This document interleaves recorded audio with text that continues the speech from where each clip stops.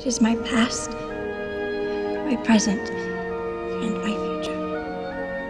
And all of it is yours.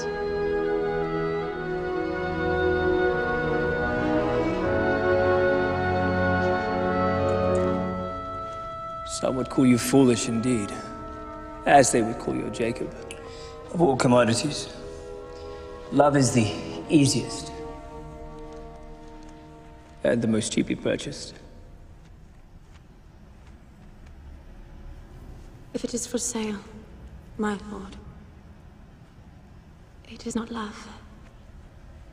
Even you. Even you must have a price. I am neither a buyer nor a seller of love.